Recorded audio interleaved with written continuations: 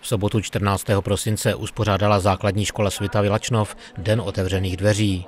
Vedení školy jej koncipovalo tak, aby se návštěvníci seznámili se všemi pomůckami a metodami, které ve škole používají. Škola má celkovou kapacitu 50 dětí, patří k ní i škola mateřská. Základem práce s dětmi v této malotřídce je partnerský přístup. Pro nás je stěžejní program respektovat a být respektován. E, v tom se snažíme všichni proškolit. Průběžně, v průběhu těch osmi let už jsme několikrát, několikrát celým tím školením prošli.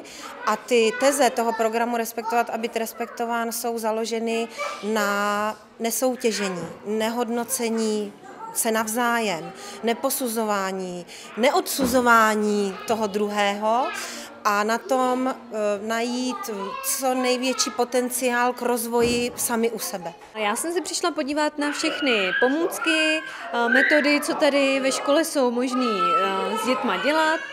A zajímala mě i celková atmosféra ve škole a to, jestli se tady dětem by mohlo líbit. Sice půjdeme do školy až za pět let, ale už dopředu se chceme informovat, co tato škola přináší jiného než ostatní školy.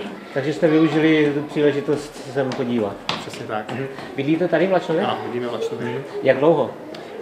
Od jak živa. Přišli jsme na den otevřených dveří já a pět dětí mých, přišli jsme se tady podívat a syn eh, přestoupil před týdnem semka do školy eh, do třetí třídy uprostřed roku takhle.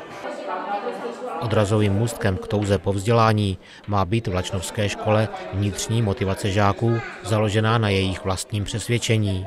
Na rozdíl od běžného školství, kdy je jedinec vždy posuzován v rámci srovnávání s ostatními v kolektivu, zde se věnují každému dítěti individuálně a je to sám žák, kdo pak přemýšlí, co by mohl udělat lépe, tak aby byl sám se sebou spokojen. U nás děti nehledají, co má ten druhý za známku. U nás dostane dítě známku a zabývá se tou svou známkou, tím svým výkonem, Udělal jsem, podal jsem co nejlepší výkon, jak to můžu zlepšit, jak, kde jsou ty chyby, jak je můžu napravit. Práce, rozvoj vnitřní motivace je složitá disciplína, ale my máme už za ty roky zkušenost, že je to možné i u takhle malých dětí. A je to založené právě na tom, že se těm dětem individuálně věnujeme, že ve slo- v pravidelných slovních hodnoceních, které máme čtyřikrát do roka, se snažíme u těch dětí podchytit ty jejich schopnosti. V tomhle seš dobrý, na tomhle zapracujeme a tady ti můžeme pomoct a tady to zvládneš sám. A to je moment, u kterého, když toto dítě začne zajímat, tak to znamená, že to i chce zlepšit. V Lačnovské škole funguje tzv. inkluzivní vzdělávání. To znamená, že se zde společně učí žáci se speciálními vzdělávacími potřebami i žáci zvláště nadaní v nějakém směru. Tato metoda je ovšem velmi náročná na celkové klima ve škole i na osobní vztahy mezi dětmi. Jestliže já chci mít ve třídě děti s různými potřebami, tak to znamená, že nemůžou mezi sebou soutěžit, nemůžou se porovnávat mezi sebou. Musím dbát na ty vztahy.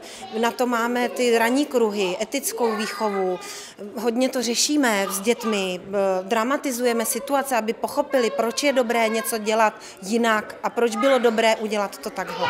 Já si sama za sebe myslím, že to, že propojím děti s různými vzdělávacími potřebami, má pro všechny přínos. Pro dospělé, pro rodiče, pro děti. Ale jsem přesvědčená o tom, že největší přínos to má pro děti, kteří jednou budou v nějakých vedoucích funkcích, protože ti budou muset umět pracovat s tou ostatní populací. Mě rozhodně vyhovuje ten přístup, který tady ve škole mají, eh, to, že pracují s dětmi individuálně, že berou každý dítě jako individuální osobnost a podle eh, toho taky vlastně s něma pracují. Eh, myslím si, že tady jsou děti spokojení, jsou v klidu a v pohodě, což je pro mě strašně důležitý. Aby děti rádi chodili do školy a aby nebyli ve stresu a nervózní. Naše děti jsou teďka ve školce tady v Lačnově a uvažujeme o tom, že by sem šli potom i do školy. Jaké by byly ty výhody? Tak výhodu vidím hodně v tom, že se vlastně děti tady učí spolupracovat, že nejsou už od malička vystavení tomu, že by museli soutěžit, že by se nějak porovnávali s ostatníma, že je to taková atmosféra úplně jiná, tvořivá, že fakt je to takový, že každý tady má svoje místo.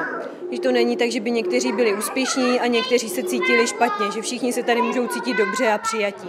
Mňa veľmi táto škola uh, presvedčila. Strašne sa mi páčia priestory, že je to tu také farebné, hráve, myslím si, že pre deti, pre deti veľmi, veľmi dobré a a dúfam, že teda naša Grétka to bude chodiť do školy. No. Že nám ji vezmou do školy, že projde u zápisu.